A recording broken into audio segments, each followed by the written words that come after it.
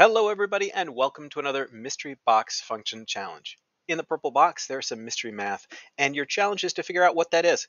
You can use the link in the description to try this out and when you think you've got an idea come on back and see if we get the same thing.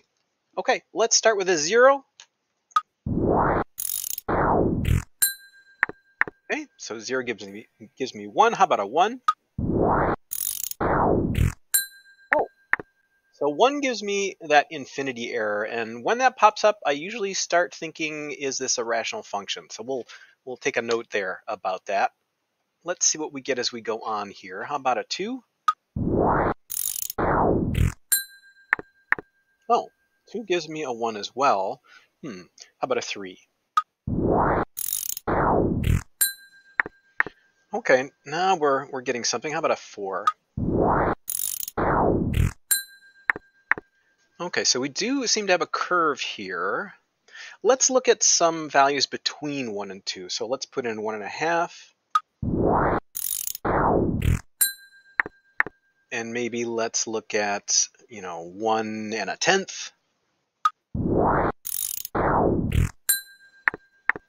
Okay, and that's very close to um, to this this line um, x equals 1, but not quite touching it. So I think we've got an asymptote here at x equals 1 and an asymptote it looks like at um, at the x-axis as well. Let's see if, if this is doing the same thing over here. I think we've got another arm here. So let's look at some points further out in the negatives.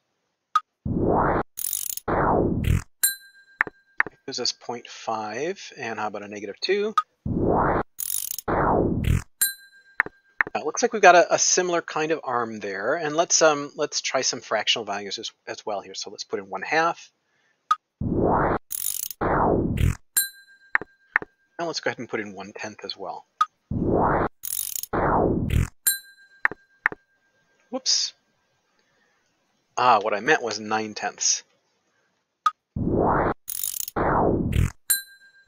Yeah, okay, so we've got two symmetrical arms here. So one arm out here and one arm out here, and it looks like where the, the function is undefined, where these, these two arms shoot up to infinity, is at this point uh, x equals 1.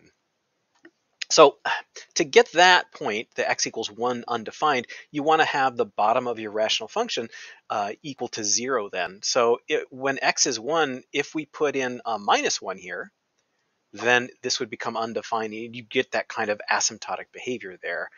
However, 1 over x minus 1 would be an arm here and an arm down here. There'd be sort of two arms opposite each other uh, uh, diagonally, but we've got these two arms all um, uh, above the x-axis. And that happens, well, let's see, it happens if you were to square this. So 1 over x squared would give you those two arms like that. So maybe this is 1 over x minus 1 squared. Let's, let's see if that works out. Does it work out at 0? If I put in a 0 here, I'd get 1 over negative 1 squared. Negative 1 squared is 1. That'd be 1. So that works out. How about at, at 3? So 1 over 3 minus 1 quantity squared. So that's going to be 3 minus 1 is 2, squared you get 4, so 1 fourth. So 3 should give us one fourth, but we're not getting that. We're getting 0.50. So it's not squared. So what else could do that besides squaring? You know, the squaring has the, the function of making everything positive. So any value, negative value you put in here or, or negative value that this would equate to inside the parentheses gets turned positive with the squaring. There's another thing that does that, and that is the absolute value. So another possibility is this could be 1 over the absolute value of x minus 1. So let's see if that works. Again, if we put in if we put in 0 here, we get 1 over the absolute value of negative 1, which is positive 1. So 1 over 1, that'd be a positive 1. So that looks good. Let's try it with the 3. So that'd be 1 over the absolute value of 3 minus 1. And that would be uh, 2. So 1 over 2, ah, that is 1 half. So that's what we're getting there. So I think I think that's looking pretty good. Um, let's try it with um, let's try it with one half and see what we get just to test one more value. So one over the absolute value of one half minus one.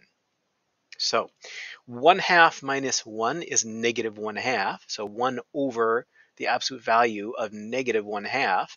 And that is just one over 1 half, because the absolute value of negative 1 half is a positive 1 half, and 1 over 1 half is 2, and um, that is, um, where'd it go? Here it is. That is exactly what we got. So I think this has got to be it. I think it's the uh, 1 over uh, the absolute value of x minus 1. So let's go ahead and check. Yep, there it is. Okay, and let's graph that as well. Yeah, so you get these two arms. We're used to seeing that with 1 over x squared type, but 1 over an absolute value of x um, gives the same kind of thing. We've just shifted it over 1 with that minus 1 in the denominator. Well, how did that go for you? I think that wasn't the easiest one in the world. Let me know. Thanks, everybody.